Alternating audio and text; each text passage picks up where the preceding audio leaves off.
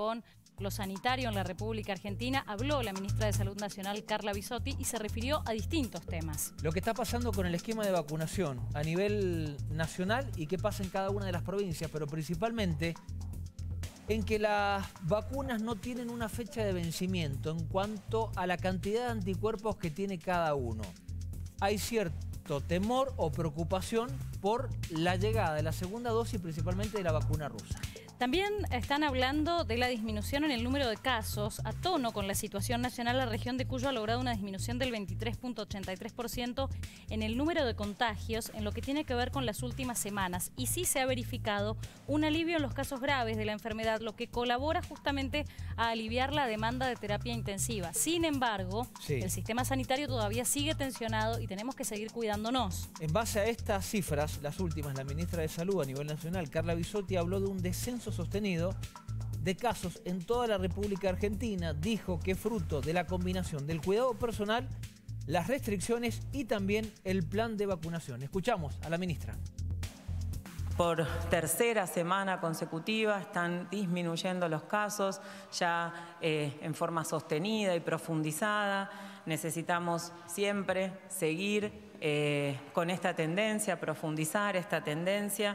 Tenemos en todas las regiones del país un descenso, eh, por supuesto con diferentes matices, pero por primera vez en todo el país esta tendencia en Cuyo 22.83% el descenso.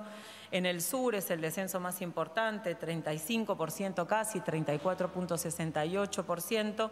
Cuando uno ve también el número de casos confirmados por semana epidemiológica en todo el país, las últimas tres semanas, dijimos, se va profundizando y sosteniendo el descenso.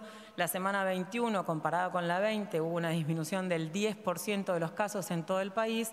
La 22, comparada con la 21, el 12% y la semana 23 el 22%. Esto es un, realmente una información relevante para compartir un logro de todo el país, algo que se está logrando eh, en conjunto la sociedad, las provincias y la nación.